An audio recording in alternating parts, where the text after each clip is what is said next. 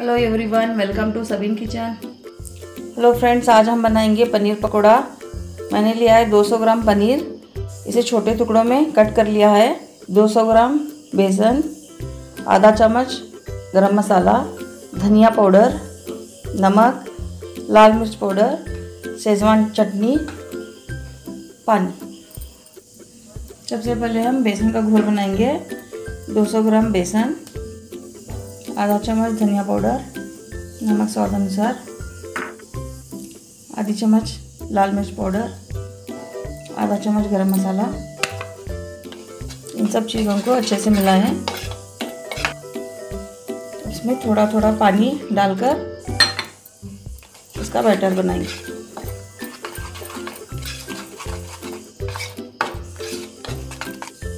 और थोड़ा डालेंगे पानी।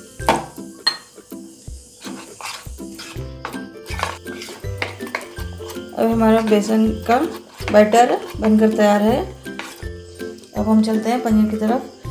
इसे ऐसे बीच में से कट लगाएँगे।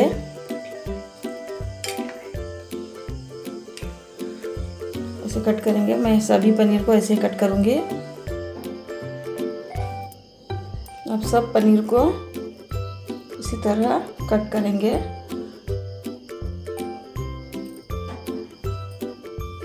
अब हम क्या करेंगे? इस पनीर के एक टुकड़े को लेंगे। सेजवान चटनी लगाएँगे इस पर।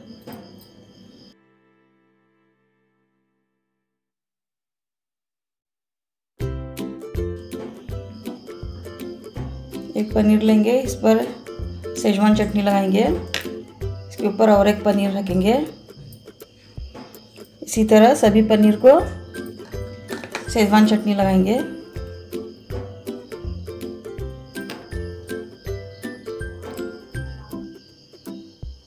आप देख सकते हैं कि मैंने पनीर को इस तरह सेजवान चटनी लगाया है।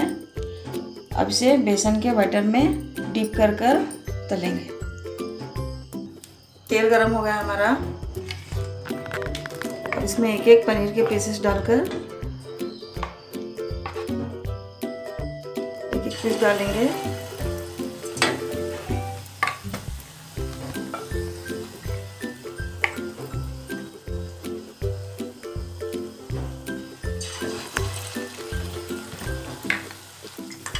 मैंने गैस का फ्लेम मीडियम पर रखा है।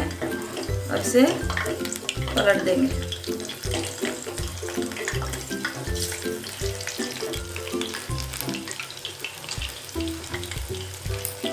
तो हमने इसको एक साइड से तीन मिनट तक तला है इसको। और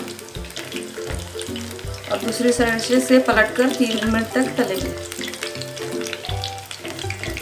हम इसे पलट देंगे।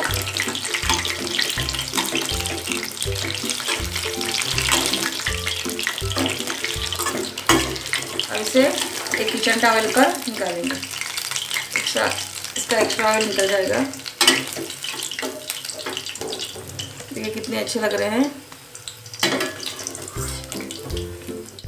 पनीर पकौड़ा बनकर तैयार है।